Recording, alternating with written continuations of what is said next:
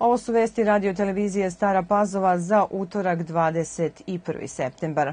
Završena je sednica Saveta za nacionalnu bezbednost na kojoj se razgovaralo o političko-bezbednostnoj situaciji na Kosovu i Metohiji posle raspoređivanja jedinica ROSU na administrativne prelaze Jarinje i Brnjak u srpskim sredinama. Predsjednik Srbije Aleksandar Vučić rekao je nakon sednice Saveta za nacionalnu bezbednost da Srbija traži povlačenje svih trupa koje su upale na sever Kosova i Metohije, hitan odgovor Evropske unije da li postoji briselski sporazum u pravnom prometu. Predsjednik Srbije Aleksandar Vučić rekao je da će mere prema Prištini Srbija razmatrati i u nekoliko narednih dana i zatim sa njima izaći pred javnost. Specijalni predstavnik Evropske unije za dijalog Beograda i Prištine Miroslav Lajčak rekao je da je zabrinut zbog situacije na severu Kosova i Metohije i pozvao na hitno spuštanje tenzija. Važno je da se spuste tenzije, povrati mirna atmosfera i dozvoli sloboda kretanja, poručio je Lajčak sa svog Twitter naloga. Bolnice širom Srbije pune se COVID pacijentima, a u crvenim zonama je 3000 obolelih više nego početkom meseca, pa se sve više zdravstvenih ustanova ponovo vraća u COVID sistem. Prema poslednjim podacima, u Srbiji je u poslednja 24 sata koronavirus potvrđen kod 7232 osobe, od 25.014 testiranih. Preminulo je još 38 obolelih, a na respiratoru se nalazi 188 pacijenata.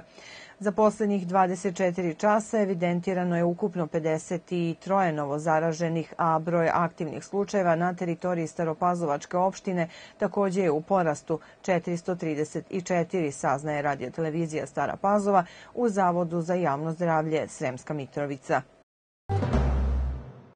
Oko 45% populacije u Srbiji odlučilo se za masovno oboljevanje, a ne za vakcinaciju protiv covid izjavio je danas državni sekretar u Ministarstvu zdravlja Mirsa Đerlek i nevakcinisanima postavio pitanje zašto se ne imunizuju.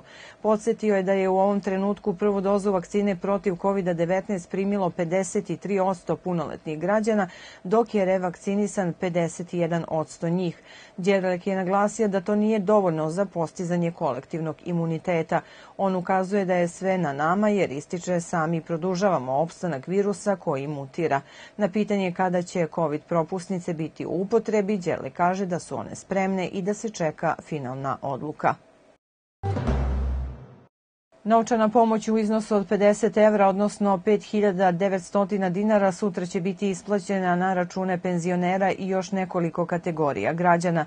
Pored penzionera koji su to pravo ostvarili zaključno sa 13. septembrom ove godine, tu pomoć dobiće i korisnici prava na deljivu porodičnu penziju, invalidi rada druge i treće kategorije invalidnosti, odnosno preostale radne sposobnosti invalidnoj deci. Ova pomoć isplaćuje se u okviru trećeg paketa mera pomoći države građanima i privredi. Obaveštavaju se potrošači električne energije da će u sredu 22. septembra u periodu od 8 do 14 časova zbog planiranih radova na elektromreži u nasilju Stari Banovci vršiti se prekid isporuke električne energije i to u sledećim ulicama Pavla Šašića, Grčkoj, Predraga Večerinca, Briletovoj, Braće Trninić, Stevana Tišme, Đoke Jovanovića, Gabriela Principa u ulici Nova i Izletnička. U slušaju loših vremenskih prilika najavljeni radovi će biti odloženi.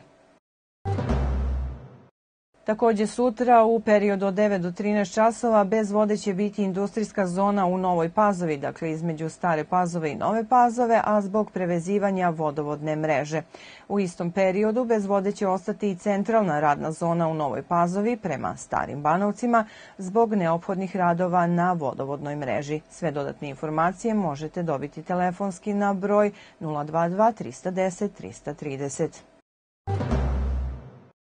Završena je rekonstrukcija saobraćajnice od oko 3 km koja povezuje Novi Slankamen sa Krčedinom. Spajanjem ova dva sela i izgradnjom saobraćajnice omogućen je brzi protok saobraćaja, a poljoprivrednicima koji obrađuju zemlju na ovom delu Srema sada je obezbeđen pristup bez da do svojih njiva idu preko okolnih sela.